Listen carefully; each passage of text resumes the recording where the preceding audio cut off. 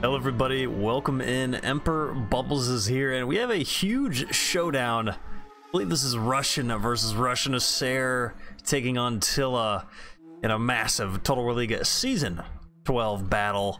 Not sure who's who. The replays did not give me that, I don't know why. But uh, let's just check out Saba. Saba rocking some slingers, four slingers, five slingers, and by the way, look at how spread these formations are. Pretty, uh, pretty intense. Uh, here comes the melee for Saba. Sabaean swords, two, three, uh, four, five, six, seven, and then a lot of damage on the camel side. Two armored camel spearmen on the flanks, camel cataphracts in the center. He's got two, three, and four with the Marib general. His opponent is Bactria, and I think we got the eight horse archer. Well, it looks like there's a Tarantine. So we got seven horse archers, four Scythians, uh, one Tarantine, and three of the regular horse archers. Melee, Bactrian Hillman, three Hillman with two thorax swords, and a lot of melee cavalry. Citizen Cav. I think he's got one Citizen Cav, and then the rest Noble Horse, three, four, and five. With the Bactrian Roll Cav General, seven minutes on the clock. It's been uh, it's been a long time since I've had a battle on the YouTube. It's great to be back. Watch some high level gameplay as look at how far spread out both armies are. I mean, uh, particularly uh, with the green banners, Saba. Even pushing it out further, this is, you know, I like this. You're preventing, you're preventing these horse archers. Well, not preventing them. You're giving them a tough time to get them around. So it looks like Saba is going to use those armored camel spearmen to potentially fend them off. So we'll see what he chooses to do here as Saba wasting no time to push forward and take care of business. Saba, best camel cataphracts in the game. Like to see them, you know, bringing five of them here with the Maribs in general. Not not for the cost, but the ribs are the best You know, the Sabaean's very, very uh, good on the cost side.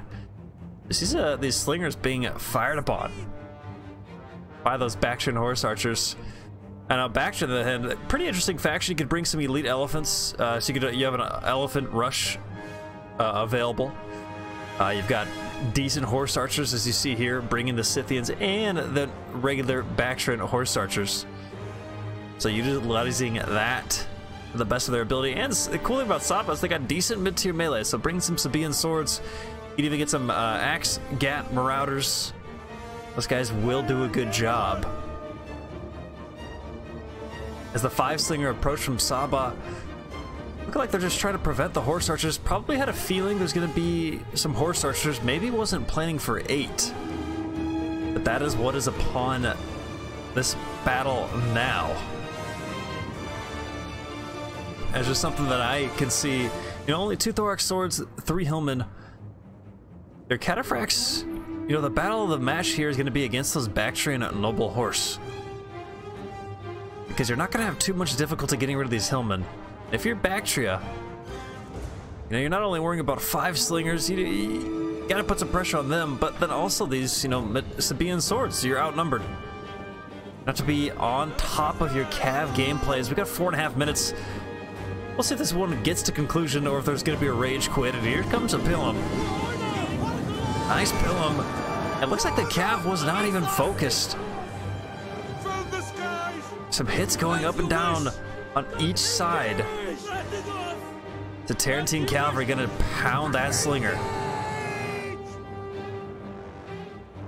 Sabaean Camel Cataphract's going to get in. Not sure how much damage the slinger's going to take, and they're actually going to take qu quite a bit. I guess it was a Tarantine. I was thinking it was a horse archer pushing. You see that Hillman already gone. Hillman's certainly not going to be a problem. The Thorax Sword should crumble after just, you know, a couple charges. But every Pila that gets off from these Hillmen is going to be big. Here comes one. Wait. Okay, there it is. I was like, what, what just happened there? It not killing any units? But in we go. Just there's a lot of damage up and down the board. Trying to see who's got the upper hand. I mean, Saba's got the balance of power. You see one noble horse go down there, 23 men. So all these horse archers still in the game. I think Saba's done a good job. Saba has forced the engagement. And as you know, Bactria has not fired all of their missile on the horse archers. So here we go. Here comes the Scythians. What kind of damage can they do to those slingers? Pretty good. Killing 20. You can see the reinforcements coming. Really trying to fend off those horse archers. They're to get hit by those cataphracts, and they're to be caught, and they are going to rout. So a huge catch there, just getting rid of at least one. Looks like the other is sticking around, but that one is going to go as well. see Sabaean swords right there on that thorax sword. Again, committing, Bactria committing that horse archer. This thorax sword actually did a pretty good job, 84 kills and still quite a few men. Look at all these green banners. Even the guys, cataphracts do very well in melee, which is pretty uh, pretty interesting considering they're a cataphract. Now they're pretty even, looks like it's just a slight winning factor for that noble horse, but here comes the armored camel spearman. And putting the pressure on those Bactrians. Look at that. Look at Saba just controlling the battle, dominating the battle, performing it to the highest capacity, spreading the army out wide. Quite frankly, just eliminating his opponent. But uh, where there's a will, there's a way. Bactria wants to find a way back into the battle. You got lots of Sabaean swords, two Sabaean swords. Some Cav left, and all those slingers. It's looking pretty dire for the Bactrians. Now the horse archers having to get in. You know, you had, what, five, six noble horse cav, and guess what? They're all about dead. You've got the general and three others. And three others, and they're tied down on those Sabaean swords, trying trying their best to get the job done. So now these slingers, looks like three slingers survived, so two slingers were killed. So three standing is now the general is in for and he's going to be targeted 100% by those Sabaean slingers, as you can see right now, yep. 37. Already losing a couple men, and a Pila. The Sabaean swords. So now we saw him at 39. He is down to 25 men, 14 killed. Bloody, bloody battle. Looks like the general wants to crush the thorax sword. Wait. Oh, they're gonna have a big hit. No big hit yet. He is gonna instead focus his efforts on the noble horse. There goes the Bactrian General, and there goes the game. Saba, complete performance and a complete domination of the game plan executed to perfection as it is finished. Not taking any time teaching his enemy a lesson.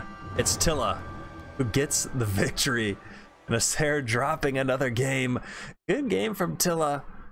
And uh, of course, a good effort from our defending champion Asair. You can see, man, those slingers, yeah, they are they are a threat, but honestly, it allowed you know it forced Bactria to put their put their cavalry into some unfortunate, you know, unfavorable situations that uh, Saba pushed with some cav, got rid of those horse archers, and the rest was history. Ladies and gentlemen, thanks so much for watching. Remember to like, comment, and subscribe. Until next time, glory be upon thee and glory to the Empire.